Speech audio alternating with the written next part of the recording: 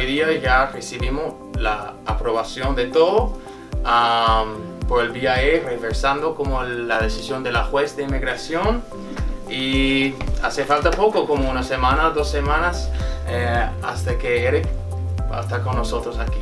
Bueno, me siento feliz, eh, agradecido, primeramente con mi familia por el apoyo que me dieron y, y con mis abogados que hicieron todo el esfuerzo para que saliera de ese lugar, que es imposible de salir. Muchas personas están allá sufriendo. Mi recomendación a- hacia las personas que están ahí todavía es eh, seguir luchando, no darse por vencido. Está segura, convencida de que él no iba a ganar. Gracias a los abogados. Me siento feliz,